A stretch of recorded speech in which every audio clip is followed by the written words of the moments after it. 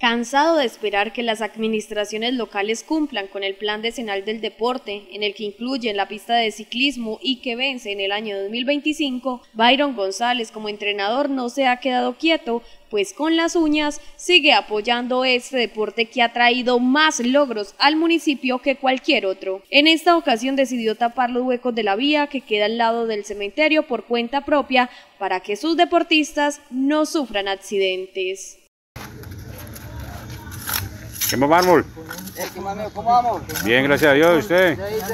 Bien, bien, por acá en la lucha. Estaba en este boquito, hermano, aquí, que aquí entreno con mis pelados de ciclismo. Sí. Y esa vía está hundiendo hace meses, hermano. Eh.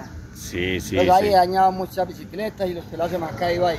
Ah, hermano, pero Me qué bueno. a mi hermano a ver. Qué bueno el detalle, hermano. Qué bueno, mármol, lo felicito. Vale, gracias. Bien. Sin embargo, el líder deportivo seguirá realizando la petición para que se cumpla el plan decenal en Puerto Berrío. Yo mañana voy a llevo todos esos, todo ese documento de fotocopias. Las 80 hojas las voy a llevar.